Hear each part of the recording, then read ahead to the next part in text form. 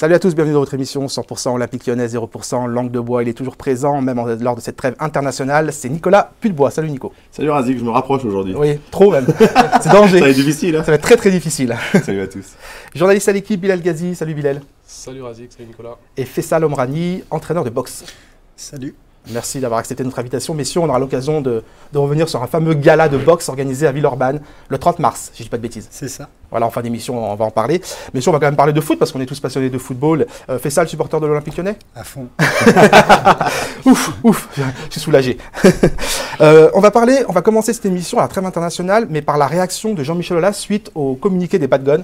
Alors les Bad Guns qui ont, euh, voilà, qui ont diffusé un communiqué sur leur page Facebook, on va voir d'ailleurs, ça va s'afficher sur, votre écran, euh, et qui justement demande finalement le départ de Bruno Genesio, sans grande surprise, Nico. Non, sans grande surprise. Alors là, ils le font de manière un peu plus euh, factuelle, euh, un peu plus officielle. Ils l'avaient déjà fait l'année dernière en fin de saison par des banderoles.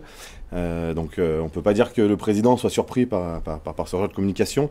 Après, ils ont peut-être été un peu vite en besogne, comme il a pu le dire dans, dans sa communication, parce que parce qu'ils ont une réunion qui n'a pas encore eu lieu, ils ont communiqué avant d'avoir la réunion. Alors justement, je vous propose d'écouter la réaction de Jean-Michel Aulas.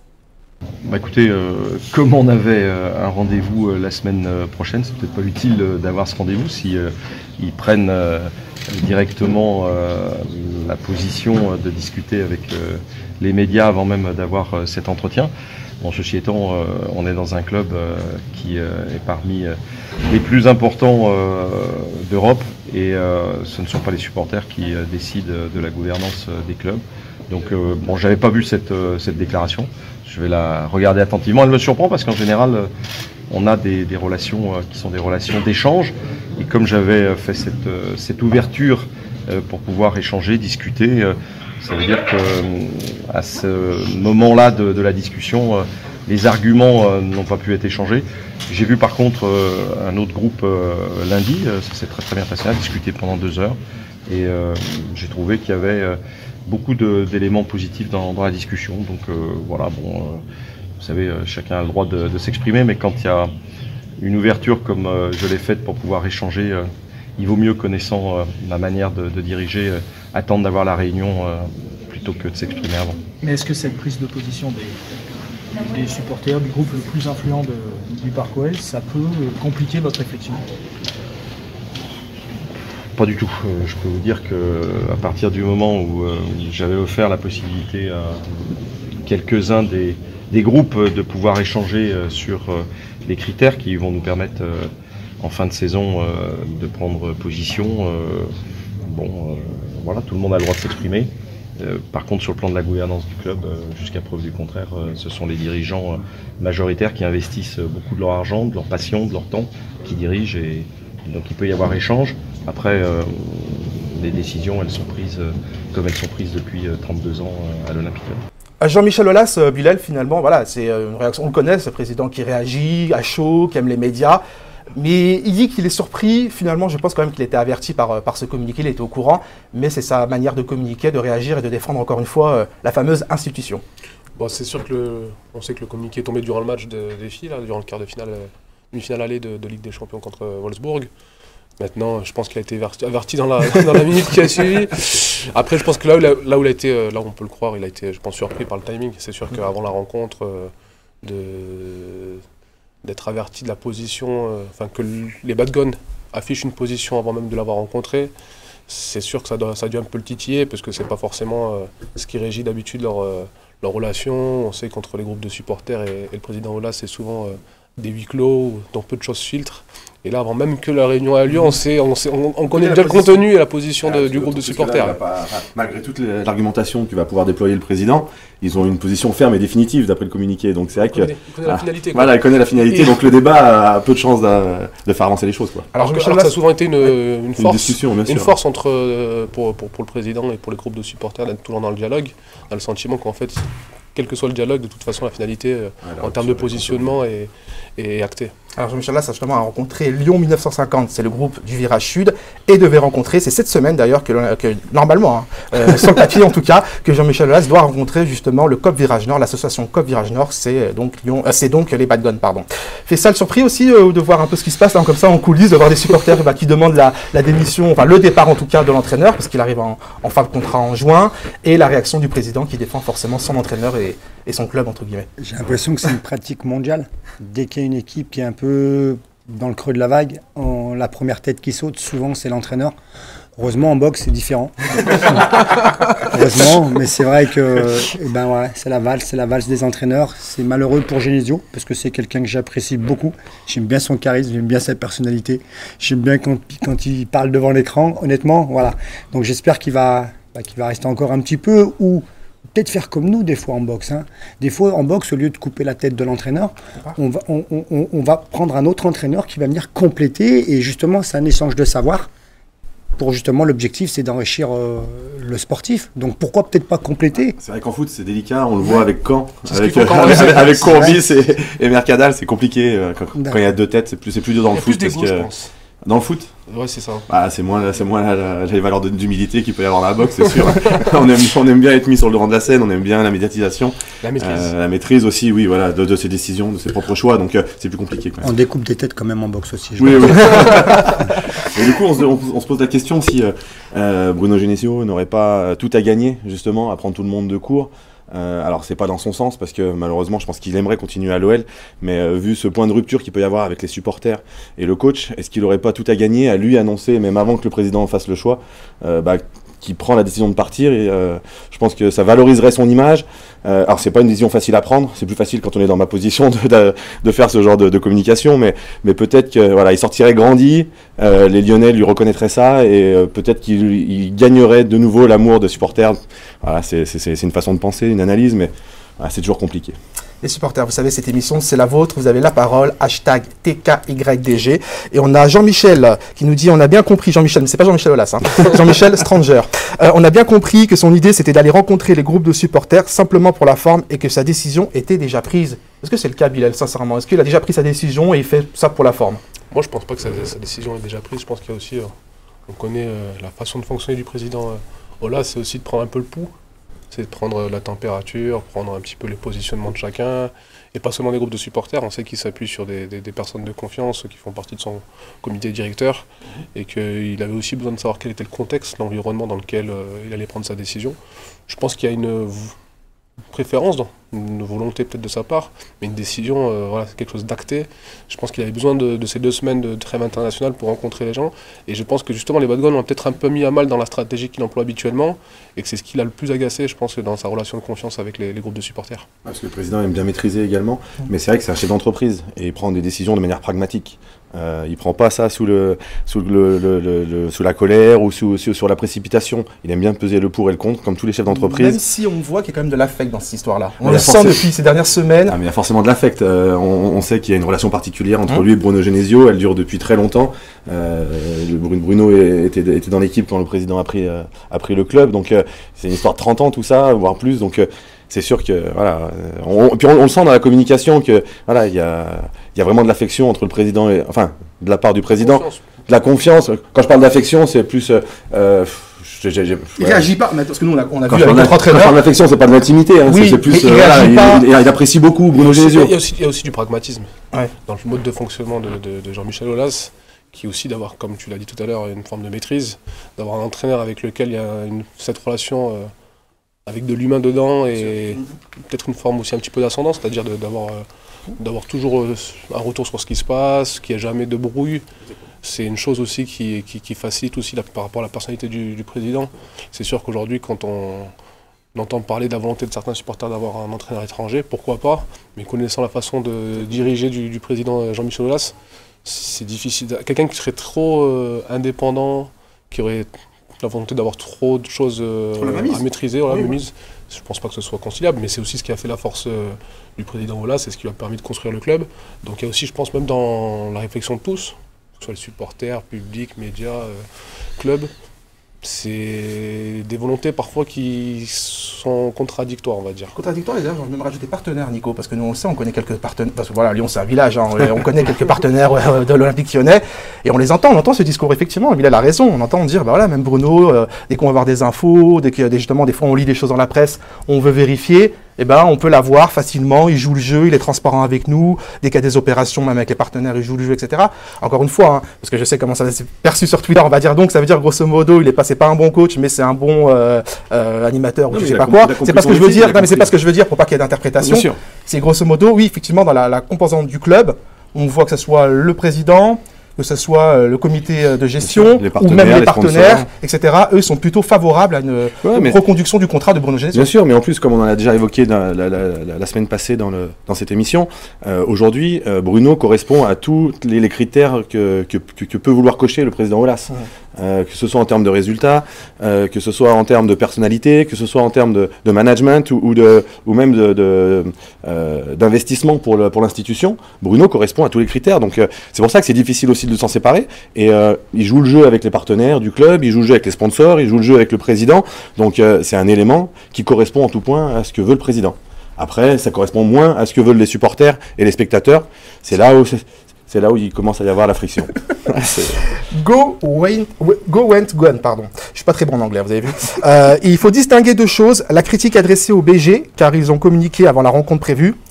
Donc c'est acceptable que Jean-Michel Aulas ne soit pas content, selon lui.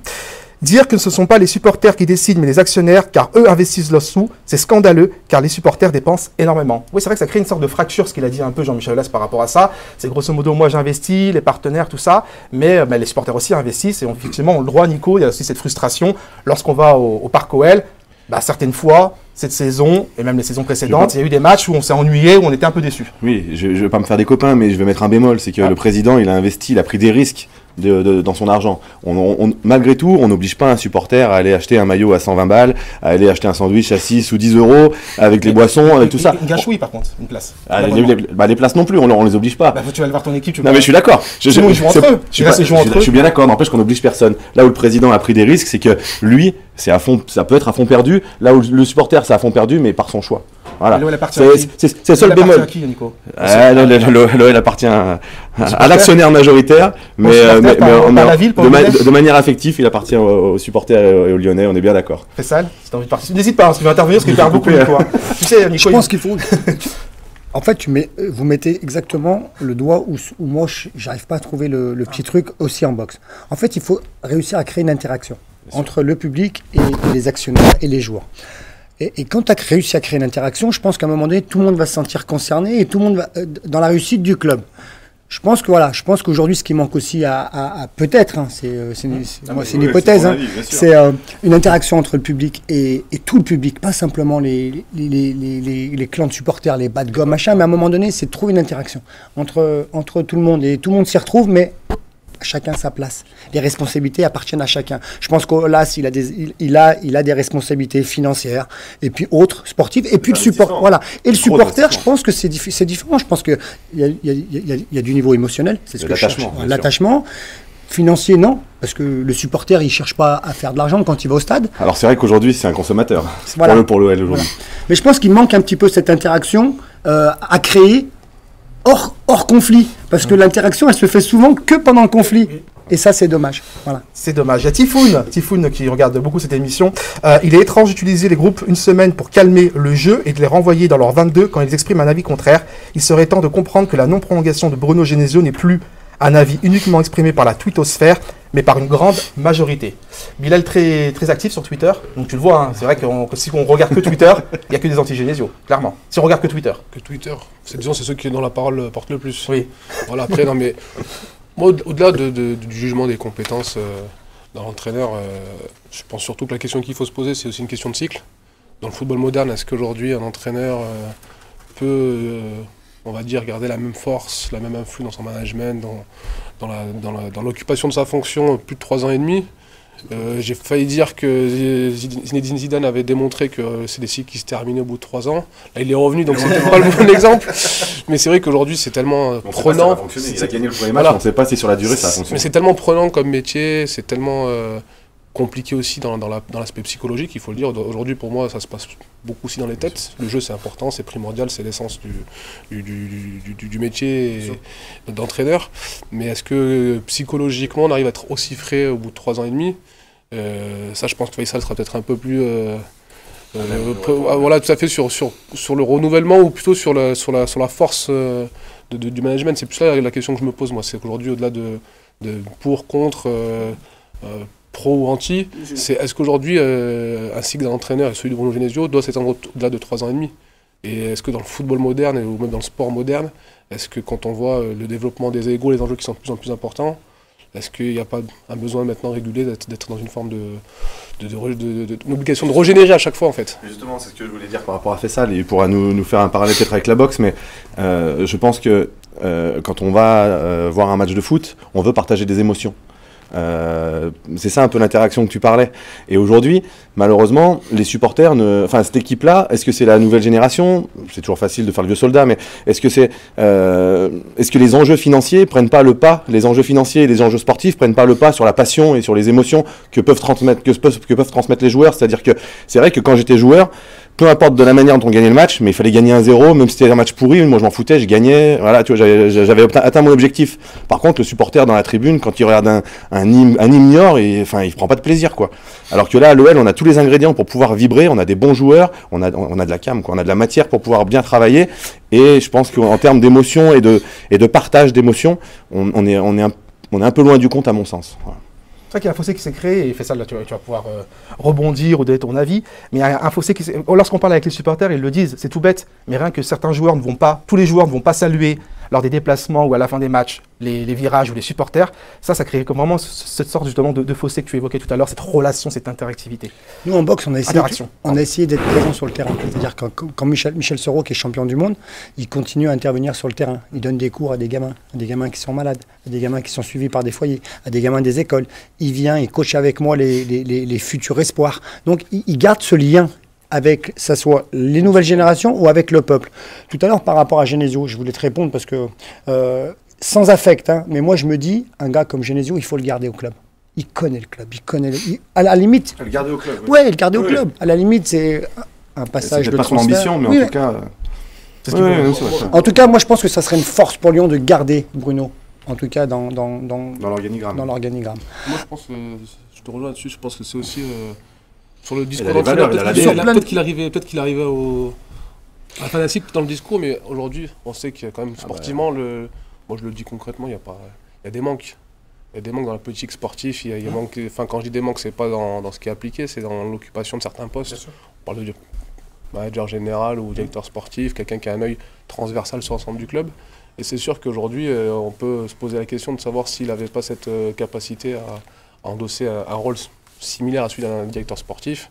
Et c'est sûr qu'aujourd'hui, par rapport à la connaissance qu'il a du club, euh, peut-être que la fin de l'histoire, justement, va peut-être l'empêcher d'investir un rôle qui aurait été bénéfique tant pour lui que pour, euh, pour l'OL. Maintenant, est-ce qu'il en a envie? Ça, c'est autre chose. Voilà, c'est autre chose. C'est plus personnel. Et en parlant d'émotion, en boxe, on va prendre l'exemple de Canelo Alvarez. Canelo, il y a tout un peuple qui le suit. Quand il monte sur le ring, il monte aussi pour son peuple. Voilà. Le peuple mexicain, ils sont tous derrière lui. Et tu sens cet engouement et tu sens aussi cette force qui dégage en lui, qui boxe pas tout seul. Il boxe pour son peuple. En tout cas, il boxe pour ses supporters. Et parfois, pas tous les joueurs de l'OL, en tout cas, c'est un ressenti, et je vais pas citer le nom. Et ben, des fois, je vois certains joueurs, et ben, ils vont saigner. Ouais, ils vont saigner, ils vont se déchirer sur le terrain. Et t'en as d'autres, j'ai l'impression, ben, ils sont attachés à des contrats, ils sont attachés à eh ben, un bon salaire, et je trouve ça dommage. Mais je te rejoins parce que nous, je te rejoins parce que nous, à l'époque, euh, toujours pareil, sans faire le bon soldat, mais j'ai eu la, la chance d'être au bon endroit au bon moment. euh, on sentait cet amour du public, cette passion qui nous transcendait, et euh, on le faisait au-delà de le faire pour nous, on le faisait aussi pour eux, parce qu'on sentait qu'il y avait une adhésion du public par rapport à nous. Alors c'est peut-être aussi par rapport à notre attitude et nos qualités. C'est sûr que voilà, quand tu as un Juninho, tu, tu sens que le, le mec il transpire, il transpire la passion, il transpire le football, donc euh, il trend ce que toi tu lui donnes. Donc c'est voilà, et c'est vrai qu'aujourd'hui, par les contrats, par la médiatisation, par les réseaux sociaux certainement aussi, par l'image. Euh, c'est- un peu moins le cas. Mais est-ce que c'est de la faute euh, des joueurs? Est-ce que c'est générationnel, sociétal? Je pense qu'on en- on s'en rapproche un peu plus quand même. C'est plus Oui, mais ces dans idées-là, ces- quoi. si ces rapports-là, ils existaient, je pense que sur des situations conflictuelles, on pourrait se poser et structurer ensemble. Mais comme il n'y a pas ce lien, bah, le jour du, du conflit, l'objectif, j'ai l'impression que c'est pas de structurer, mais c'est plus de s'allumer l'un et l'autre. Et au bout du compte, ben, le projet, n'avance pas et la solution, on la trouve pas. Je trouve ça dommage. Mais bon. Et moi je pense que c'est vraiment une, la souffrance peut-être que- qui doit avoir en lui euh, Bruno Genesio. Parce que quand tu parles de peuple, je pense qu'il il fait sûr. partie de ce peuple lyonnais. C'est qu'il a, il a endossé le. C'est un peu se faire critiquer par les siens. Quand il prend ce communiqué de presse ou les banderoles de, de, contre, contre Nice, le dernier match, c'est comme si c'est- pour lui, c'est des membres de sa propre famille qui le, qui le, qui le, qui le, qui le, qui le- qui le pointent du doigt en public, au-delà de- du cercle familial. Et, et- et Ou que- et que- ce qui se passe avec Nico. ce qui s'est passé avec toi aussi. en essayant d'être très lucide et objectif. vous avez, vous êtes, vous avez enfin moi je suis pas lyonnais de, de On a un naissance, ADN commun. mais vous avez un ADN commun. Et je pense que après c'est la responsabilité, la responsabilité de tous. Hein. C'est pas jeter euh, la pierre sur l'un ou sur l'autre, parce que chacun a sa responsabilité là-dedans. Qu'une histoire qui aurait pu, euh, qui aurait dû être une belle histoire, c'est-à-dire peu importe le contenu, mais qui, aurait, qui s'est bien commencé, qui aurait dû bien se terminer, par échec ou réussite, mais que c'est-à-dire humainement qui aurait dû bien se terminer.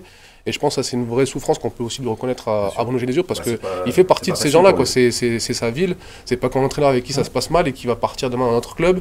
Non, son attache, les week-ends, il va rentrer ici, il finira sa vie ici, sa famille ici. Et je pense que c'est vrai que c'est. Quand on l'heure de peuple, d'adhésion de peuple, c'est donc ça ce qui s'est pas Elle est, créé. palpable, elle est- elle est palpable la souffrance. Tu le vois dans, ces- dans, certains, dans sûr. certaines conférences de presse, tu sens bien qu'il le vit mal. Et, et, euh, pour rien cacher, nous on l'a rencontré, on sent bien que l'é- l'échange est compliqué parce que euh, souffre de, de- de- de- de ce désamour de la ville de Lyon, des supporters lyonnais qui devraient normalement, euh, effectivement, être derrière lui. Même, dans la, même dans la contestation. hein. Je pense que, si- que voilà, la même, la même, certaines opinions qui, euh, qui auraient été exprimées dans un cercle privé auraient peut-être été mieux perçues de sa part euh, que, que- qu'à travers ces manifestations publiques. Mais qui font partie du. Qui font partie du enfin, on ne peut pas reprocher euh, aux supporters, et loin de là, de- d'exprimer leur opinion, que ce soit à travers un tract ou à une banderole. En En fait, ça fait partie, ça fait partie de- des règles du jeu, c'est-à-dire qu'aujourd'hui, euh, la réaction des, des supporters, on peut pas la blâmer, son ressenti à lui non plus. Et l'impression là que c'est un peu une, euh, c'est là où c'est parfois entre guillemets un peu gênant quand on, quand on connaît vraiment les rouages hein, au-delà de, la- de l'œil Mmh. professionnel, c'est qu'on a le sentiment que c'est un peu une, une querelle de famille qui est allée au grand jour en fait. C'est exactement ça, et c'est effectivement euh, parce que les supporters en fait, euh, des- les Bad Guns avaient quand même prévenu Bruno Genesio avant. Et lui, il a dit qu'effectivement, il était pas, était surpris, mais bon, ça peu importe.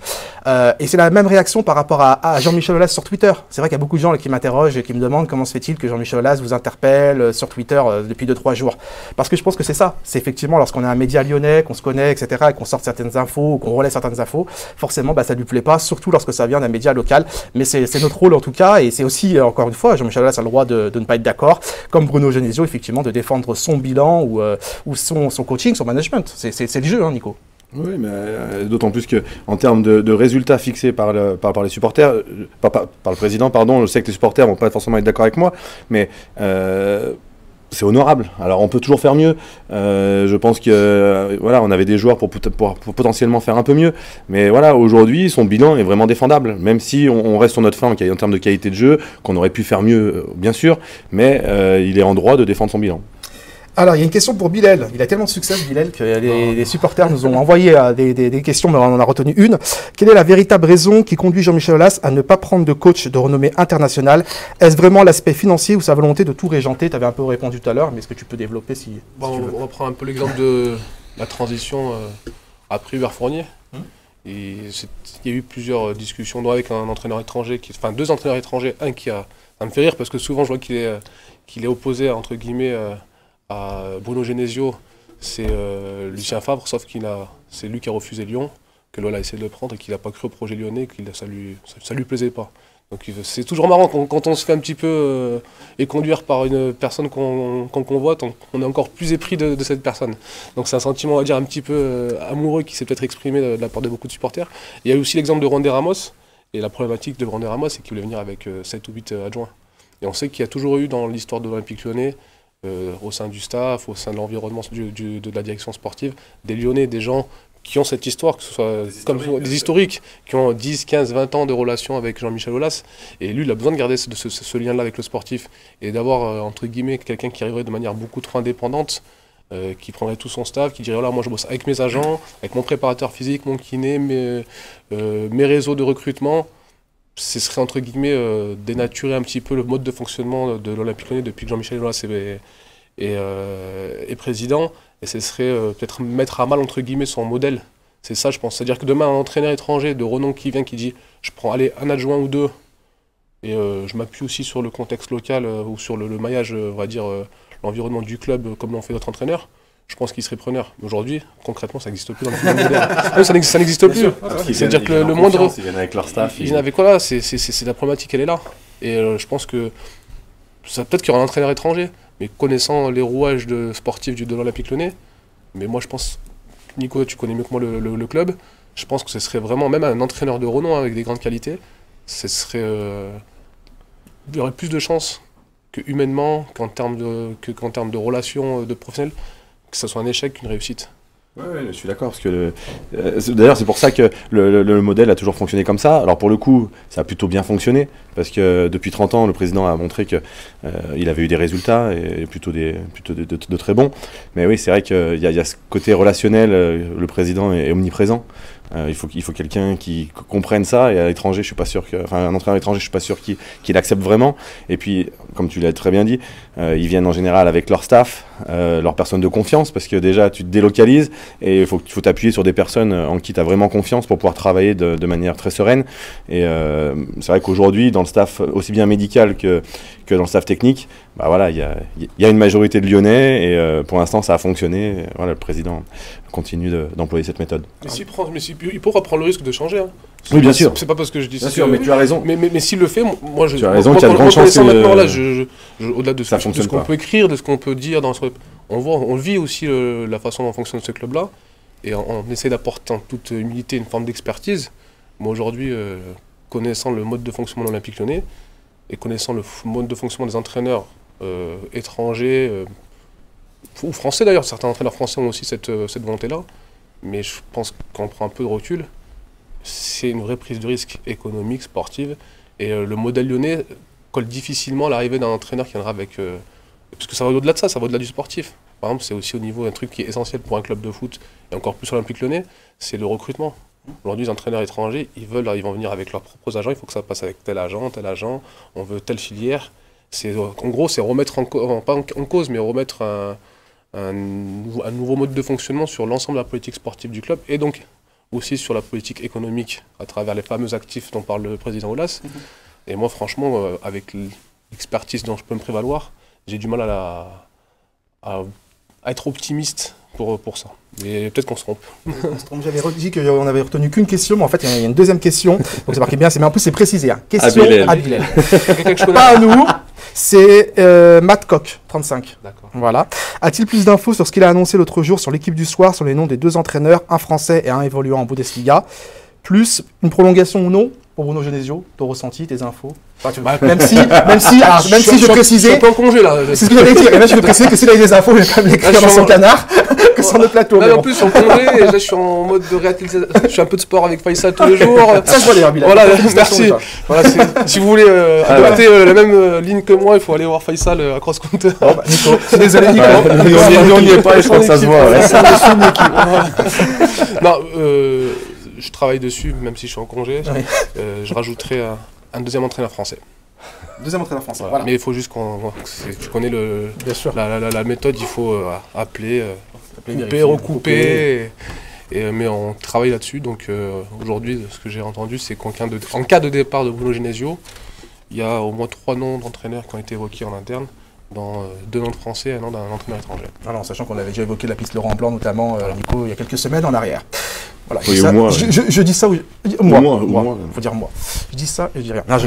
Euh, on va parler de Memphis Depay. C'est pour ça que j'ai fait que ça. Je, mec, Une petite parenthèse, Oui. je l'aime bien Laurent Blanc. Ah. je préfère Genesio, mais j'aime bien Laurent Blanc. Voilà, ça c'est dit. méritait une intervention. Ça, c'est dit. Ça méritait une Voilà. intervention, Faisal. Euh, on va parler d'un joueur, alors, je pense que tu vas l'apprécier d'ailleurs, parce que je pense qu'il a ce côté euh, J'ai entendu, j'ai regardé Boxeur dans Je l'ai l'âme. vu, je l'ai vu, vu on en a parlé. J'ai- Depay. ouais. Trois buts, deux passes décisives ce week-end. Incroyable, performant euh, avec sa sélection euh, des Pays-Bas. Et plus irrégulier, on va dire, avec, euh, avec l'Olympique lyonnais. Comment vous expliquez ce Memphis aux deux visages? Nico, allez, on commence par le gardien. Qui parle, des, bonne qui- qui parle des- des attaquants. C'est une bonne question, ouais. On les aime pas bien en général, nous, les attaquants. C'est pour ça que, c'est pour ça que tu commences. Dis-moi tout. Non, mais là, il n'est pas positionné au même endroit sur le terrain. Il est plutôt libre. Euh, Est-ce qu'il joue plus libéré parce qu'il est, il est dans son pays? Euh, Il a moins de pression, peut-être aussi. Euh, on- il est moins attendu. Donc, euh, ouais, c'est- un autre homme. On, l'a déjà vécu avec d'autres joueurs qui, quand ils partent en sélection, sont plutôt flamboyants ou l'inverse. Ils sont pas très bons en sélection, mais ils sont très bons avec leur club, vice versa, ça dépend. Mais euh, ouais, c'est, on aimerait bien l'avoir comme ça tout le temps à Lyon, à Memphis, parce que quand il est dans cette forme-là, il est très important pour une équipe. Fais ça, là, alors justement, comme tu en parlais avec, euh, avec Bilal, qu'est-ce que tu as envie de dire sur ce joueur, encore une fois, Il performant a, avec il sa a un, et- alors, il a un morphotype excellent pour la boxe. Ça, j'aurais pu- honnêtement, ce mec-là, je l'aurais croisé ben, étant gamin. Je pense Il aime a- ça en plus, hein, il aime la eh boxe. ben, je pense qu'il aurait pu faire une belle carrière. En tout cas, il a, il a, il a l'attitude euh, Et le mental et le mental. Mais peut-être un petit reproche. euh, avec l'OL, je le trouve eu des absences. Justement, c'est c'est pour ça que je te parle du Bah, mental. Là, je pense que ce week-end pour le maillot, je pense qu'il a, ouais, il a transpiré. Je pense que tout à l'heure, on parlait d'émotion, on parlait de justement d'aller jusqu'au bout. Bah, peut-être que quand il est sous le maillot des, Pays-Bas, bah, peut-être qu'il arrache tout parce qu'il se sent transporté aussi par, euh, bah, par ses émotions, par ses envies. Et peut-être qu'à l'OL, je sais pas. Mais par moment, en tout cas, je le sens, je le sens transporté. Il fait des belles choses. Moi, je l'aime beaucoup. Puis son côté un peu bad boy avec ses, ses, ses tatouages, ses, son attitude. Voilà. Alors, Il y a, il y a le, le- le caractère, le, le personnage, la personnalité, etc. Le positionnement aussi, Bilal, ou pas? Bon, là, Il y là, a ce débat hein, depuis euh, quelques jours. Moi j'ai vu ce matin un peu le Hein débat sur, euh, Voilà. sur les, notamment sur l'appréhension de- du personnage par deux entraîneurs, c'est-à-dire Ronald Koeman, son sélectionneur aux Pays-Bas, et Bruno Genesio à l'Olympique Lyonnais, Qui a aussi fait des déclarations. Hein, qui a fait des déclarations. Moi, je vais aller plus loin, on va mettre les pieds euh, dans le plat, Oui. on va pas se mentir. Aujourd'hui le problème, il se situe vraiment en termes de leadership, sportif, je parle, technique, et on le voit euh, dans la relation entre les deux joueurs, c'est lié à tout simplement le fait que Nabil Fekir est resté. On le sait, c'est les échos qu'on a depuis le début de la saison, c'était la crainte qu'avait euh, la direction sportive et euh, même dans les bureaux olympiques lyonnais. C'est que l'année dernière, il faut voir une chose, la meilleure période de Memphis Depay, elle est née lors de l'absence de Nabil Fekir. Cette saison, on lui a plus ou moins fait comprendre à l'intersaison qu'il aurait les clés du camion avec le transfert de Nabil Fekir, euh, notamment à Liverpool. À Liverpool. Et, et on le voit, la relation l'année dernière, ça, les deux peuvent fonctionner ensemble. On l'a vu, ils l'ont prouvé la saison dernière. On le voit cette année quand même que la relation technique, et notamment dans l'occupation de certaines zones, parfois c'est assez criant sur le terrain, depuis, depuis la tribune, il y a une, il y a- il y a- il y a une difficulté, euh, entre guillemets, à, à trouver... C'est pas tant dans la relation technique, c'est plus dans l'occupation... On le voit décrocher. On, on- voit que l'année dernière... tu vois bien Voilà, dans le on- jeu, il, se cherchent Ils plus. ils il y a le pas de relation technique euh, l'un et l'autre, euh, où, euh, où ça peut être évident en général quand deux grands joueurs, ou en tout cas deux joueurs à fort potentiel, en général ils cherchent à jouer l'un avec l'autre parce qu'ils savent que euh, si, tu fais, si tu fais le 1, tu auras forcément le 2 parce que ça respecte le foot et tout ça. Là, ils sont, est-ce qu'ils sont pas, alors peut-être plus du côté de, de Memphis que du côté de Nabil, mais en concurrence trop, trop, trop, trop, trop importante en fait. une forme de frustration de la part de, de Memphis où ils pensaient euh, clairement avoir le, le, le- le- le- le leadership avec Ouais. le départ de Nabil Fekir. Ils pensaient avoir cette place de, derrière l'attaquant de numéro 10. Et on le voit quand Nabil joue. Faut- moi, je l'ai observé sur 2-3 deux, trois, deux, trois vidéos euh, en faisant un petit peu du ice coat et, et en voyant un petit peu ses, ses courses. On voit que l'année dernière, il avait cette capacité à prendre la profondeur, à aller faire des courses vers l'avant. Là, quand Nabil est là, il, souvent il décroche. Et tu décroches en sachant que tu as déjà un numéro 10 derrière toi. Il va, se, il va se marcher Il, il- sur il se marche sur les pieds. Bien sûr, il se marche Et, sur les pieds. et- et- mais c'est pas pour autant qu'il faut euh, faire des titres en disant que c'est la guerre entre les deux. C'est pas le cas. C'est pas- le- cas, même si euh, on sait que Memphis a une personnalité qui fait que parfois ça passe bien, parfois ça passe. Euh, mais je veux dire, c'est pas ça des, fait partie de son euh, personnage.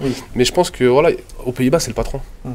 Aux Pays-Bas, c'est le patron Ça, ça joue technique. aussi, tu as raison. C'est le patron. C'est, c'est- c'est- c'est- quand je parlais tout à l'heure de- de- d'ego, on- on- dans un débat précédent, il est là aussi. Les joueurs veulent euh, les clés du camion. Et je pense qu'en fait, et ça c'est, euh, comment dire, euh, euh, on peut aussi euh, reconnaître ces difficultés-là au, au niveau de l'Olympique lyonnais. C'est que c'est compliqué quand on promet un joueur euh, les clés du camion, que finalement, euh, celui qui avait les clés avant, il, il les a gardées parce qu'il est resté. Et cette forme de cohabitation sportive, là on parle vraiment pas de cohabitation humaine, dans le jeu, elle est très complexe. Et on le voit cette saison, leur relation est très loin de ce qu'ils auraient pu faire. Et je pense qu'il y a aussi cette gestion-là au niveau de, de, de- de la cohabitation sportive tout simplement sur le terrain entre les deux. On a Marc, TKYDG, hashtag TKYDG. N'oubliez pas, si vous voulez réagir, intervenir, poser des questions, tacler Nicolas Pulbois, c'est hashtag TKYDG. Il y a... J'essaie de tacler Faisal parce qu'il a dû répondre. C'est pour ça que je parle. c'est pour ça que- je parle jamais des invités, je parle jamais de Faisal. Je parle toujours de Nico en fait, parce que comme on s'aime bien, je peux me permettre. Euh, euh, il dit euh, Marc, enfin Polo, il manque de confiance, mais Genesio ne l'aide pas à le mettre en confiance, même si je trouve qu'il a eu suffisamment sa chance pour être bon. Alors ça aussi, on va mettre les pieds dans le plat. On parle aussi de sa relation avec Bruno Genesio. Est-ce que Bruno Genesio est responsable du rendement de Memphis Depay Ouais, ça, Ah, rien, y je connais pas, je connais pas leur relation, je sais pas comment ça se passe. Euh, mais c'est vrai que du coup, on sait que Memphis veut pas jouer sur la sur la gauche et il est tout le temps à gauche. Euh, alors tu peux pas mettre, euh, ouais, ils jouent l'un sur l'autre. euh, Nabil il joue au même poste, il pourrait jouer devant aussi. Dembélé s'est affirmé, Nabil euh, champion du monde, il revient. En effet, c'est lui qui prend les clés du camion. Donc euh, voilà, qu'est-ce qu'on fait de Memphis? Euh, Mais moi, ce que je dirais par rapport, alors, je peux non mais la relation de Bruno Genesio, j'en sais rien, Non, vas-y, je la avec connais pas. est-ce qu'avec Je la connais pas. Ah, d'accord. Je la connais pas. Ouais, Bah, est-ce que- je sais que pas. ça peut jouer Je sais pas comment ça se passe dans le ça vestiaire. Je sais jouer pas s'ils s'engueulent ou pas. Je sais pas s'ils sont la Bah, gueule ou pas. chose- Ça peut toujours chose- Il y a jouer. une chose qu'on sait, c'est quand Ça même. peut toujours jouer. Pour moi, c'est un argument difficilement recevable. Pour ça ça- une, une seule et bonne raison, il y a très peu de joueurs qui peuvent se prévaloir d'avoir une relation euh, Intime au- au- avec le, non, mais surtout avec le président. Ce qu'il faut savoir, c'est Oui. qu'il est très proche du président. Ce Memphis Depay. Il était Qui protégé est- quelque qui part. est- qui est- voilà, c'est au club, tout le monde le sait. C'est un peu euh, aujourd'hui euh, l'un de ses chouchous. Et c'est quand il y a quand il y a quelque chose, Memphis Depay, il a, c'est, c'est la relation elle est directe avec euh, Jean-Michel Aulas. Et ça, c'est rare. une étape en fait. Et ça, c'est, et ça, c'est, ça, rare. Il passe directement au Mais je pense que même dans l'affectif, dans tout. Et je pense, moi, moi, très sincèrement, sur le positionnement et sur la gestion de Memphis Depay, je pense que Memphis Depay a raté un wagon quand il a été placé euh, Ah, en pointe avec Nabil Fekir derrière. Il a pas fait, enfin, c'était pour moi le meilleur positionnement, alors que lui aurait peut-être voulu être à la place de Nabil Fekir. On passe pas. On sait qu'il aurait voulu être à la place de Nabil Fekir, c'est les messages qu'il a clairement fait passer. Et à la finalité, vu qu'il n'a pas occupé ce poste de, de neuf et que Moussa Dembélé en a profité, après c'est une question de, de, de, puzzle aussi.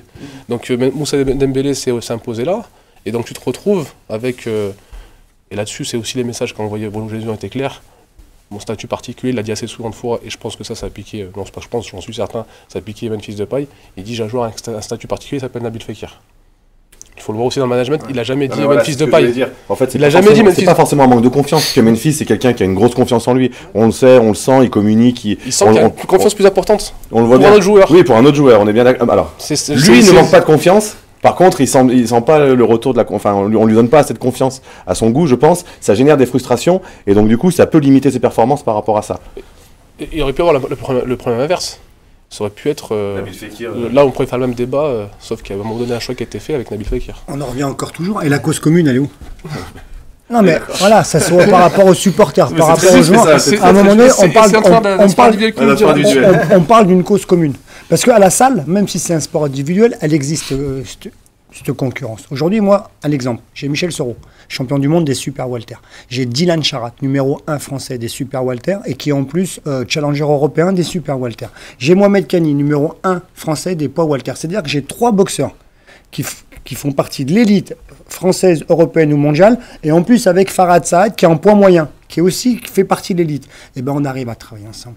On a, ils arrivent à travailler ensemble, ils arrivent à s'encourager, à se donner des petits tuyaux. Par contre, quand ils rentrent dans le carré magique, le carré magique c'est le ring, ben, ils s'arrachent la tête. Et ben à un moment donné, ben Fekir et, et Depay, ils peuvent s'arracher la tête. C'est sur des exploits, c'est à eux de travailler dans, dans- dans le sens commun, la cause commune, et à un moment donné, et ben peut-être faire des éclats de génie, et, et- et la concurrence, ça va se faire là, mais pas au détriment de la... En tout cas, ça, c'est mon point de vue. La concurrence, ça peut pas se faire au détriment de la cause commune. Et ça, c'est à Genesio, ou c'est au grand patron de, de réguler tout ça, en tout cas, voilà. Mais aujourd'hui, comme euh, le dit Villel, ils ont fait un choix. Euh, ils, ont gardé, ils ont laissé le leadership à, à Nabil Fekir et c'est ce qui crée la, la frustration de Memphis. Oh, il s'en sort pas trop mal, le bilan. Oh, attendez, Non, non, non, mais On parle- Ouais, on parle pas de, on parle pas de ça. Ah, ok. Justement, justement, on sent. on sent- Merci on- ça parce que je- ok. on se- Non, non, mais on sent bien que Nabil Fekir, il est bien à l'aise et qu'il Voilà. est plutôt bien dans ses baskets et performant. on l'a vu sur beaucoup de matchs cette saison en plus. Reste reste à ta place. Bon, Il y a des tweets qui vont Ça il y a va des- t'y mettre. Tu- ouais, bon. Euh, il y a des tweets qui vont défiler forcément hein, sur, euh, sur le sujet, en- et donc sur Memphis. Mais Euh, et hein. il y en a un autre où il y a, y y un joueur, enfin un joueur, il y a un supporter qui dit il faut, il faut un gars complémentaire. Il faut lui trouver quelqu'un justement qui soit complémentaire. Mais moi je pense qu'il aurait pu être avec Nabil Fekir. Ouais. J'en démarre pas. Moi quand je dis qu'il a raté. talent. Bah, Quand, je dis, talent. quand je dis qu'il a raté, quand, quand- quand je dis qu'il a raté le, le coach dans son, dans son positionnement, à un moment donné, il aurait dû faire le, le, le- le deuil de, du patron du jeu lyonnais. Mm. Ah, Et c'est normal, il aurait dû accepter, même s'il a cet ego, on le sait, ça fait partie du personnage. C'est compliqué. Eh, t'es un champion du monde, formé au club, Mm. lyonnais, c'est sa ville. Mm.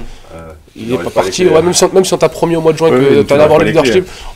Et à un moment donné, ils, ils sont capables de, de cohabiter, ils l'ont montré. Ils l'ont montré. Il y a des choses qui se font en dehors du foot entre eux, justement pour créer cette cohésion. Ou...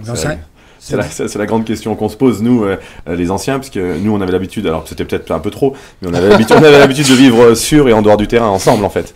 Euh, Mais ça- moi, ça, je le crée, moi. Je t'explique. mais nous, on n'avait pas besoin de le créer, en fait, c'est naturel, parce que la, la- la bienveillance qu'on avait les uns par rapport aux autres et, euh, et cette capacité à vivre en- ensemble et à s'aimer les uns les ça autres, se à l'époque. bah, ça se crée, en, en plus, au-delà des résultats qu'on a pu avoir, je pense qu'on a eu des résultats parce qu'on s'aimait bien, et pas, et pas, et pas l'inverse. En fait, la a- société a changé. on s'est, on s'est, pas bien, on s'est pas bien aimé parce qu'on avait des résultats. On, s'est- on on a eu des résultats parce qu'on s'aimait bien. Ouais, mais quand on était gamin, Bruno, euh, Ouais, c'est mon. Nicolas, euh, on, on partageait le casal, on partageait des sûr. choses. Tu vois, il y a des choses. Ouais, en fait, c'est la société qui a changé. Aujourd'hui, on est une société complètement individuelle. ouais. Aujourd'hui, moi, je crée des moments pour que, bah, justement, Dylan et Michel se retrouvent, euh, Mohamed et Dylan se retrouvent, ou mes boxeurs en dehors de la boxe, et puis. Moi, sans leur dire, je gère tout ça. Je gère ces émotions. J'essaie de créer. Ouais, ouais. Et, et- et je pense que quand tu arrives à créer justement cette émotion ensemble, en dehors, tu, tu crées du lien en fait. C'est simple ce que je dis, c'est créer du Apprendre lien. à se connaître. Et un moment, voilà. Parce que si tu connais l'homme qui est en face, de, en face de toi, ce sera plus facile de l'apprécier et de travailler avec lui. Eh ben, quand t'as une et- mission et de trouver une mission eh ben, commune. On s'arrache, on s'arrache, et à la fin, eh ben, à la fin, on fait le bilan. Comme on dit, c'est à la fin du bal qu'on paye les artistes. Et ben, c'est, euh, c'est un peu ça aussi. C'est un discours qui, qui amène à une direction euh, la plus sensée possible. Et je pense qu'ils sont capables. Enfin, je pense qu'ils s'entendent pas si mal que ça. mais que je pense qu'à un moment donné, ils sont quand même. Aujourd'hui, il y a tellement de paramètres qui rentrent. Ouais, après, il y a les enjeux. On a les stats, Les- les Après, en- ça- les entourages. Et alors, justement, Entourage. eh ben, justement, on peut optimiser tout ça ensemble encore. Ouais, parce qu'à la boxe aussi, il y a les entourages. À la boxe aussi, il y a les, enfin, il y a, il y a les objectifs individuels. Donc, euh, C'est moins exposé quand même. Oui, Avec c'est tout moins le respect exposé. pour- ouais. avec Non, tout le mais bien respect sûr. pour les boxeurs, Médiatiquement, c'est moins exposé. Avec On tout est le d'accord. respect que j'ai pour les Alors, boxeurs. en France, Oui, je parle en France. Alors aujourd'hui, quand tu prends une dimension comme Michel Soro, aujourd'hui Michel Soro, il, se côte- il, il- il- il- il fait partie des meilleurs boxeurs mondiaux. C'est vrai qu'on fait pas trop de pub euh, sur Lyon. Allez, je vais la glisser celle-là. On a une très très bonne équipe de foot depuis allez, une vingtaine d'années, une quinzaine d'années, on va dire. 15-20 ans, on va dire, à peu près. On va dire que, voilà. En boxe, on a les meilleurs boxeurs, boxeurs français, européens et mondiaux. Et en fait, personne ne le sait sur Lyon. Aujourd'hui, Michel Soro est champion du monde, Dylan est champion d'Europe. Dans d'autres clubs, à part à Villeurbanne, que ça soit sur Vaux-en-Velin, que ça soit à Lyon, que ça soit euh, en amateur, il y a d'autres clubs aussi qui montent en puissance. Et on a du talent à Lyon au niveau mondial en, en termes de boxeurs. Et on n'en parle pas assez. Voilà, ça c'est glissé. C'est vrai, c'est vrai À Lyon, on n'a pas que le foot. Et puis on a le basket à Villeurbanne. Je pense qu'il y a un gros, gros vivier de, de- de- de grands sportifs. Et Villeurbanne. Ouais, ouais, Ouais, moi, je suis, Villeurbanne, il est content. Dès qu'on parle de Villeurbanne, il est je content. suis né à Bron, mais j'ai vécu Ouais. quasiment toute ma vie, enfin jusqu'à mes 20 ans, jusqu'à Villeurbanne. J'étais au Bros de Villeurbanne, donc euh, ouais, c'est une ville qui aime le sport et qui fait beaucoup de choses pour ses sportifs. Mais c'est vrai que c'est pas assez médiatisé, on n'en parle pas assez. Déplacement à Rennes vendredi. Et oui, reprise du championnat. Monsieur, faut-il s'inquiéter? Faut-il être optimiste enfin, voilà, Est-ce que vous êtes optimiste avant cette, cette rencontre, ce déplacement en, en Bretagne, avec les retrouvailles avec Clément Grenier notamment, Mehdi Zéphane, etc. Bah, la dernière fois qu'on les a rencontrés, ils sont venus nous battre 2-0 à domicile, donc euh, il faut toujours se méfier. Ils sont sur une très bonne dynamique. Euh, voilà, c'est une équipe qui, euh, qui depuis l'arrivée de, de- Julien Stéphan, performe, a trouvé un, nouveau style de jeu. Et, et oui, il faut s'en- il méfier parce que même si nous aussi on est sur une bonne dynamique, je pense que Rennes à domicile est plutôt performant. Donc euh, faut, faut tou- toujours, c'est voilà, c'est je, je trouve pas mes mots, mais en tout cas, Ouais. il va falloir faire attention. Ouais. C'est là où joue un des meilleurs joueurs français. Qu'on a laissé échapper. Je vais parler d'Adèle. Je parler salue d'ailleurs. bon, c'est bon. Je salue, parce qu'en plus, à chaque fois qu'il vient à Lyon, il me dit bonjour, même s'il se fait siffler par les supporters, etc. Ah, bon, peu jeune. importe. Mais salut à thème. Euh, Il y a Sasuke qui nous dit l'irrégular- l'irrégularité de l'OL pardon, et sa faculté à relancer les équipes de bas de tableau me font très peur quant à l'issue de ce match. Ouais, ils sont pas, pas de tableau, donc ça donc ça, c'est vu que c'est une équipe qui est justement, on va pas être confronté à cette, euh, à cette, euh, cette problématique-là. On est bien d'accord, c'est pas une équipe de bas de tableau. Après, après, c'est un match particulier parce que c'est le retour de, des, des joueurs qui sont en sélection. Il y en a beaucoup dans les deux équipes. Et que du coup, ça, ça brouille un petit peu, on va dire, la, la vision d'avant-match. C'est vrai qu'on a du mal à, oui, effectivement, on a Ouais. du mal à se projeter, à Parce savoir. que un voilà, peu- on sait qu'il y a Mhm. certains joueurs, euh, Ben Sebaini qui était avec l'Algérie, euh, Mbanyang avec le Sénégal, il y a des internationaux d'espoir qui étaient avec euh, euh, Lyonnais qui était avec l'équipe de France Des Espoir espoirs. qui a joué encore jusqu'à hier soir, Exact. Nabil Fekir, qui est Tanguy Dombele qui, ont- qui sont avec l'équipe de France. Donc c'est vrai que c'est euh, dans le jugement des valeurs Traoré, Maxwell Cornet, voilà, tout ça. dans le jugement des valeurs de deux équipes avant, sur un match post euh, international et encore plus le vendredi. C'est compliqué à appréhender. On se rappelle, ça avait donné un match très moyen euh, euh, un derby très moyen, je pense que ça avait joué. Le Lyon Saint-Etienne en mois de novembre, au sortir de la trêve de novembre. On avait parce senti que deux équipes qui n'avaient pas cette- ce feu. Et je pense qu'il y avait quelques internationaux dans chaque équipe. Bah, t'as pas la possibilité de préparer les matchs comme tu les prépares d'habitude. Parce que les absences, ils sont, plus, ils sont, ils sont tous en, en- en équipe nationale et donc du coup, tu peux pas travailler de la même manière durant la semaine. On regarde le classement, hein, justement, on regarde le classement aussi, et on a Olingone qui nous dit, et je vous assure hein, qu'on essaie vraiment de faire en sorte de prendre tous les tweets et de donner la parole à tout le monde, cette double confrontation contre Rennes va être très importante pour l'avenir du club. Pas confiance du tout en la personne qui est sur le banc, on en parlait tout à l'heure de, de Bruno Genesio. Euh, on va parler de boxe, ça y est, on arrête, on arrête le foot, on a tout dit, hein, messieurs On va parler de boxe, Nico, t'en as besoin, j'en ai besoin aussi. Euh, Il y a un gala, Je suis très curieux. un gala le 30 mars à Villeurbanne. Est-ce que tu peux nous en dire deux, trois mots? Alors, on a, on a nommé ça, mon équipe, mon équipe et moi, euh, les révélations du Noblard. Donc, la première, elle s'est faite au Casino Lyon Vert le 24 janvier, en collaboration avec Kader Marouf. Je pense que ça vous parle. hein. monsieur, monsieur Box. Il est Taille. partout, Kader. Voilà. Donc, avec le Partouche Tour, c'est vrai qu'il a un événement qui tourne euh, dans toute la France. Moi, par manque de soutien, euh, mais pour plein de raisons, hein, attention, je- j'ai dû trouver des solutions. Donc là, on a trouvé d'autres partenaires. Donc euh, il y a trois galas qui vont se faire au Casino Lyon Vert et trois galas qui vont se faire à la Maison des Sports. L'idée, c'est de faire un gala tous les deux mois, c'est-à-dire six par an. Donc à partir de janvier. Donc là, le prochain, c'est le 30, euh, le 30 mars à la Maison des Sports de Villeurbanne, donc à Flachet. Au programme, on fait un Villeurbanne Ancône, donc euh, la ville d'Italie. Donc euh, ça sera une rencontre. J'ai pas le droit de dire France-Italie parce que ça appartient aux fédérations. Par contre, un Villeurbanne Ancône, ça va se faire. Donc il y a 13 combats amateurs, dont un combat féminin, et euh, un combat pro, dont donc Mohamed Kani, numéro 1 français. Il est normalement challenger pour le championnat de France, donc c'est un combat juste un peu de préparation avant de. voilà, donc il est numéro 1, des poids Walter, c'est un gaucher, c'est. C'est un vrai régal parce que c'est rare les gauchers. euh, c'est de la boxe technique, physique. Et puis on a essayé, justement le 30 mars, de. Bah, tout à l'heure je parlais d'interaction. Donc voilà, on est en pleine réflexion nous aussi en boxe. Donc il y a des mascottes, il y a des t-shirts à faire gagner, il y a des jeux concours. Tu sais, on va mettre la boule. Donc on va faire participer le public. Il y a un chanteur. Donc euh, la variété est française, mais il y aura, il y aura un chanteur. Euh, il y a une tombola tout au long. Et puis en fait, le truc c'est de rendre, c'est d'animer un petit peu euh, le public pendant justement ces temps de repos. Parce qu'en boxe, souvent on s'en- on s'ennuie dans la- euh, au moment de repos et, et sur les transitions. Donc voilà, samedi, c'est l'élite de la, de la future boxe mondiale. Parce que tu te rappelles, à l'époque, j'avais créé à la conquête du titre. Tu te Oui, rappelles exact. Et tout le monde se, se moquait un petit peu de, de Villeurbanne. Et, et, et ben, ça a donné avec plusieurs champions de France. Omar, la mairie, Hakim Zulika, Michel Soro, des champions d'Europe ou des vice-champions d'Europe et les champions du monde. Donc là, on repart avec une, une nouvelle euh, génération. Ils sont une douzaine. C'est des gamins que j'ai depuis 6-7 ans. Honnêtement, ils seront encore meilleurs que Michel, que Dylan. Et, et c'est vraiment des artistes. hein. Bah justement, le 24 janvier, on a plus retenu la prestation des amateurs que des pros. Là, ça va être euh, la cerise sur le gâteau. C'est du lourd, là. C'est du lourd dans, dans tous les sens. C'est-à-dire amateur, pro en termes organisation, spectacle, lot à gagner. L'entrée est à 20 euros. Ce que J'allais poser comme question. Alors, L'entrée est à 20 euros et je crois que je suis le seul à faire ça sur Terre. Parce que tous mes galas, avant, c'était le café offert à volonté pour tout le monde. Là, cette année, pour 20 euros, il y a un sandwich d'offert, une canette d'offert et un café. Ah, c'est la totale, là. Ouais, c'est la totale. je vais faire un petit, un petit régime avant pour pouvoir venir, manger, déguster Voilà. sur les combats. Et on peut rentrer avec des cadeaux, on peut rentrer avec des cadeaux, avec des lots. On peut gagner des t-shirts et puis aussi, on peut aussi boxer.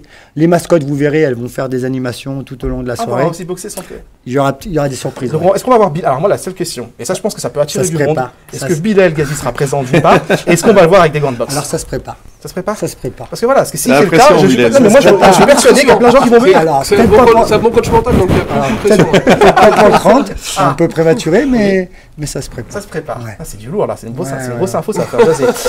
ça faire le Moi buzz. aussi, là. je la prends sur le plateau. Donc, on le répète, allez, on fait encore un peu de promo. Le 30 Rendez-vous le 30 mars. Ouverture des portes à Maison- 17h, Maison des premier coup gong à 18h et ça sera terminé à 22h30. Le main event est prévu à 22h. Pour se procurer des places, internet. Cross euh, Counter Boxing Gym ou sur place. Sur place directement, on peut se Alors présenter. là actuellement, c'est Ouais. vrai que les places sont bien parties. Ah, Donc c'est un coup, on fait un guichet fermé, comme on a fait à la Maison des Sports. Donc, euh, au casino, au casino Lyon Ouais. Vert, on avait fait guichet fermé. Là, honnêtement, ça s'annonce pas trop mal. Donc il reste quelques places. Vite, vite, vite, quoi. Dépêchez-vous. Tant pis pour ceux qui viennent C'est bon ça. c'est bon, ça c'est très bon ça. honnêtement, honnêtement, quand je vous dis on a vraiment les meilleurs boxeurs mondiaux sur Lyon, c'est je suis pas en train de, de racoler ou de faire de la Tu pub vends pas du rêve, là, c'est vraiment- Non, c'est les vérités parce que les vérités, elles se, elles se concrétisent par des titres. Aujourd'hui, les titres sont à Villeurbanne depuis 10 ans. Euh, mon équipe et moi, on passe sur euh, les différentes chaînes, que ce soit les chaînes Canal, Bein, avec euh, nos champions. C'est nos boxeurs qui sont télévisés. C'est pas pour rien. C'est qu'on a vraiment les meilleurs boxeurs lyonnais. Présence de, de sportifs de haut Il faut niveau. jamais de- mentir aux, aux Présence de spectateurs. footballeurs, présence de, Présence de footballeurs, présence d'autres euh, d'autres stars, d'autres sports, et puis d'autres personnalités de Lyon. D'ailleurs, euh, si euh, Bruno Genesio euh, sait pas quoi faire samedi soir après le match, bah, c'est quelqu'un que j'aimerais bien ouais, que, d'avoir autour du ring. Bah, il écoute cette émission, donc en tout cas, aura le message va passer. Et ben voilà, si vous voulez une star, je veux, je veux Bruno. Euh, pour finir, Memphis de paille aussi. Memphis, Memphis, puis, à mon avis, et puis Memphis, tant qu'à faire, on fait, un, on fait un bus, on y va. puis- parce qu'il y a Marcelo qui aime bien aussi la boxe. ben, on les a- alors, contre, clair- alors clairement, tous les joueurs de l'Olympique lyonnais sont invités samedi 30 mars après le match de Rennes. Voilà. et, et Nico, tu vois Ben Nico aussi, c'est un jeu- ça reste toujours un joueur de. De toute façon, quand tu es joueur de l'Olympique Lyonnais, tu l'as pour la vie. Ouais, tu l'as vu. Donc voilà. Nico, pour finir, est-ce que voilà, cette préparation mentale, on parlait par rapport aux, joueurs de, de- de football, est-ce que la boxe, ça peut aider justement? Est-ce que tu conseilles par exemple à un footballeur qui est en doute, prend en doute, Mm. de venir justement dans ta salle? Voilà, je te fais de la promo, je suis gentil, hein, mais qui, qui va venir justement au cross-counter pour, bah, voilà, pour s'entraîner, pour apprendre des choses, des techniques, pour. euh, Alors, mon équipe et moi, on travaille avec des sportifs de haut niveau depuis euh, plusieurs années. Que ce soit des footballeurs, des basketteurs, euh, d'autres sports de combat, euh, d'autres champions du monde, autres que Michel Soro, viennent se préparer chez moi, donc Arsène Goulamarian. Et puis, euh, il y en a d'autres. Il y a eu Toutain qui est venu. Il y, a eu, y a eu pas mal de grands boxeurs français, européens qui viennent se préparer. Les joueurs de foot. Alors, moi, techniquement, je touche pas au ballon, je touche pas aux jambes. Par contre, euh, tout ce qui est notion de combat, tout ce qui est préparation, tout ce qui est appui, reprise d'appui, tout ce qui est aussi euh, appréhension, euh, gestion de l'env- l'environnement, parce qu'en combat, il n'y a pas de confort. Dans le carré magique, il n'y a pas de confort. Comme sur le terrain, à un moment donné, tu peux avoir du confort sur un terrain. Tu vas te mettre sur l'aile, tu vas trottiner, mais à un moment donné, dans l'action, on est d'accord, il n'y a pas de confort. Et, et ben, la boxe, ça aide euh, mentalement, psychologiquement. Et puis, je leur apprends aussi des petites choses sur le placement, sur l'anticipation. Mais je parle pas de foot. Je parle simplement, peut-être quand souvent le terme la boxe, l'école de la vie, mais l'école de la vie dans tout son sens. Il y a cette notion de combat, puis il y a cette notion aussi de préparation, de, de prise de conscience de ce qu'on fait. Parce que au ballon, tu as raté un ballon, c'est pas grave. Tes copains, ils sont là, ils se rattrapent. En boxe, T'as pas le droit à l'erreur. Et, et- et ce travail-là avec les sportifs de niveau, on arrive à le mettre en place. Et, et en plus de ça, il y a ce côté euh, apprentissage du combat. Je peux vous assurer quand vous savez vous battre, en tout cas vous savez, vous avez des notions de combat, vous avez plus d'assurance sur le terrain. Vous gérez mieux la pression. Il n'y a personne qui, peut vous mettre la pression physique ou mentale. Voilà. Et ça, c'est un plus pour les sportifs de haut niveau. Et, même, même vous, vous, quand vous savez, vous avez cette notion de combat au quotidien, que ce soit dans votre voiture, avec vos, vos familles, avec au boulot, il y a ce côté assurance qu'on apprend avec les sports de combat. Avec nos qui- femmes Ah, non, pas forcément, pas ça. si ça au niveau de. Alors attends, je vais dire des bêtises. Tu vois, j'ai failli, je vais dire des choses. je- Voilà. Je vais me faire tuer, je vais me faire tuer. Elle, va- elle va me tuer, je crois. Non, mais voilà, Elle je pense que voilà, il faut parce que souvent les entraîneurs ou les clubs ont peur. Voilà, j'ai travaillé avec le club de Dortmund, je travaille avec beaucoup d'autres clubs, je travaille avec d'anciens, jou- j'ai travaillé avec d'anciens joueurs de l'Olympique Lyonnais, euh, Rachid, Gaz- Rachid Ghezal, Jordi Gaspard et puis d'autres jeunes. Euh, ouais, ça marche. La boxe en complément, ouais, ça peut être un bon atout. Mais Pour faire un parallèle, Greg, euh, entraîneur des gardiens, Greg Coupet. Monsieur Coupet, euh, se sert beaucoup. Il est passionné de boxe et il s'en sert beaucoup dans ses entraînements, dans son approche pour, pour aider Anto. Ah, et, je euh, pense qu'il serait chaud pour venir. pour, pour aider, pour aider Anto et Mathieu à être beaucoup plus performants, il se, il, se, il se base beaucoup sur, sur des exercices de boxe. Et... J'ai beaucoup de gardiens de l'Olympique Lyonnais qui viennent me voir de temps en temps. Ah voilà, Donc, euh, Parfait, non, mais on, je pourrais, on, pourrait, on pourrait se compléter, ouais. bien sûr. Parfait mission en tout cas, bah, c'était bien, c'était sympa. Une émission footbox. Ouais. Et puis euh, voilà, et puis on Merci fait la promotion de, de Villeurbanne, des, des clubs, des gens qui bossent, des gens qui beaucoup. essayent de, de faire justement beaucoup pour les jeunes, parce que c'est ce que tu fais aussi, on- c'est c'est important. Voilà. Alors en parallèle, voilà, il y a le côté, il y a le côté euh, sport de haut niveau. J'ai remis une pièce, mais c'est pas grave. Voilà. Il, y a il y a le côté business, côté Voilà. euh, sport de haut niveau, mais il y a le côté aussi social. Social, on et ça, je pas. lâche pas parce qu'on est présent sur les quartiers avec les gamins en difficulté et pas forcément en difficulté. On est en présent avec des gamins qui sont malades. On travaille avec des trisomiques, avec des gamins euh, atteints mentalement, des maladies aussi très, très rares. Euh, on travaille. Voilà. Et au-delà du sport, on fait passer des, vi- des- des- des valeurs. Moi, je me considère un petit peu comme un maillon de la chaîne éducative. Souvent, je dis c'est ma ville. Voilà, je suis pas issu que d'un quartier. Tout à l'heure, on parlait des parlait des bueurs. mais en fait, moi, je me concernais, je me sens concerné par toute la ville. Donc voilà, il y a le côté social, insertion par le sport, et ça, on lâchera pas. On lâchera pas, et nous non, plus, on lâchera pas. Rendez-vous lundi prochain pour un nouveau numéro de Tanky Radigan.